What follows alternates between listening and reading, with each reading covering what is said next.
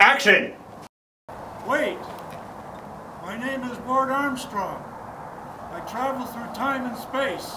I just need some stamps. What about the robots? What about the mutants? Why would you travel back in time for some stamps? Robots and mutants got together in a fascist government. I need some stamps. And I won't stop the robot revolution. You can't stop the squid monster. All I need is stamps. Squid monster? It's, uh... Great, it's time. You forgot the most important rule of time travel. You don't wear a watch.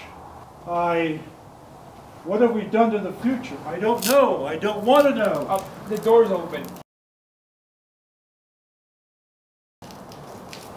Lock the door. What about the squid Lock them back up. monster? Now?